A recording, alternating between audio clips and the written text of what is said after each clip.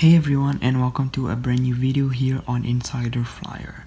Today's video is only about uh, one topic and well the New York Times has just released an article, a very detailed and well written article uh, with the title Claims of Shoddy Production Draw Scrutiny to a Second Boeing Jet and that is what we are going to talk about today.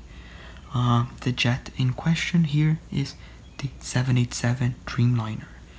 Uh, Boeing's factory near Charleston, South Carolina, where the airline manufacturer produces some of their 787 Dreamliners, has been plagued by shoddy production and weak oversight that have threatened to compromise safety.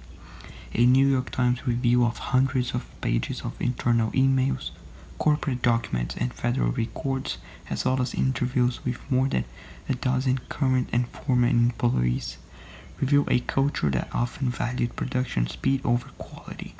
Facing long manufacturing delays, Boeing pushed its workforce to quickly turn out Dreamliners, at times ignoring issues raised by employees. Safety lapses at the, at the North Charleston plant have drawn the scrutiny of airlines and regulators.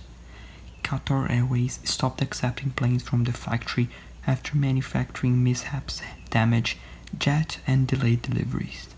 Workers have filed nearly a dozen whistleblower claims and safety complaints with federal regulators, describing issues like defective manufacturing, debris left on planes, and pressure do not report violations. Others have sued Boeing, saying they were retaliated against for flagging manufacturing mistakes. Joseph Clayton, a technician at the North Charleston plant, one of the two facilities where the Dreamliner is built, the other one being in Everett, Seattle, said he routinely found debris dangerously close to wiring beneath cockpits. I've told my wife that I never plan to fly on it he said. It's just a safety issue. In an industry where safety is paramount, the collective concerns involving two crucial Boeing planes, the company's 737 MAX and the 787 Dreamliner, point to potentially systemic problems. Faulty planes have been installed. Faulty parts have been installed in planes. Tools and metal shavings have routinely been left inside jets, often near electrical systems. Aircraft have taken test flights with debris in an engine and a tail, risking a serious failure. On several planes, John Barnett, a former quality manager who worked at Boeing for nearly three decades and retired in 2017, discovered clusters of metal silvers hanging over the wiring that commands the flight controls. If the sharp metal pieces produced when fasteners were fitted into nuts penetrate the wirings, he said, it could be cat catastrophic. Mr. Barnett, who filed a whistleblower complaint with regulators, said he had repeatedly urged his bosses to remove the shavings, but they refused and moved him to another part of the plant. A spokesman for the Federal Aviation Administration, Lynn Lunsford, said the agency had inspected several planes certified by Boeing as free of such debris and found those same metals, silvers. In certain circumstances, he said, the problem can lead to electrical shorts and have caused fires. The FAA issued a directive in 2017 requiring that the Dreamliners be cleared of shavings before they are delivered.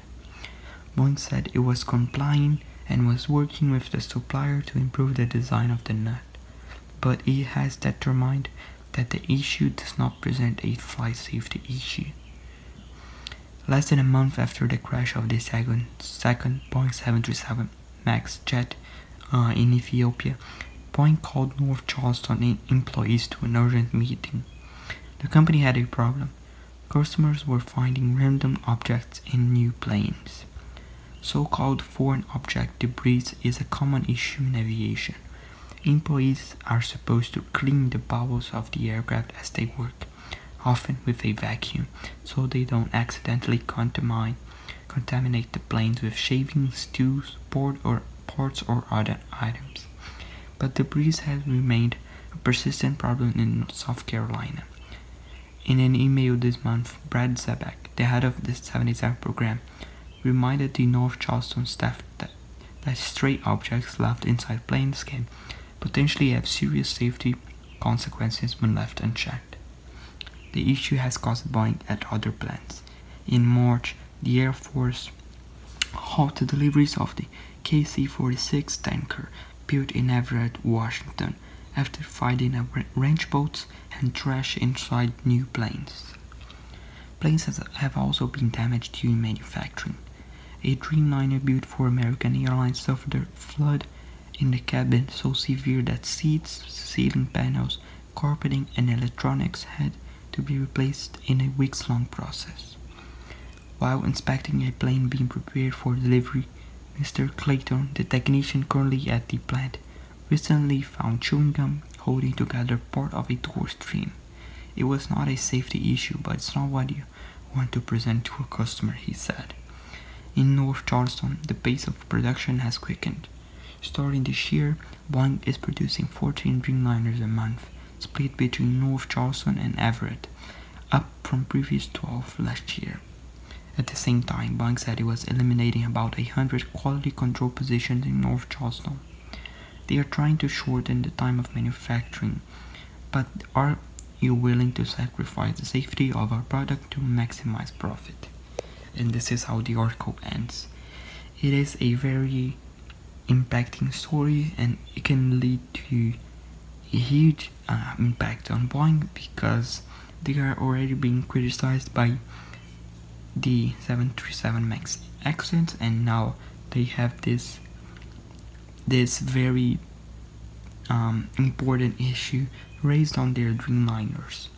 Today's Sunday, today's Saturday, so it's likely that Boeing will not say anything about this. But if this gets, um, if this becomes viral or it has, or it goes mainstream, um, we can expect Boeing to say something about this.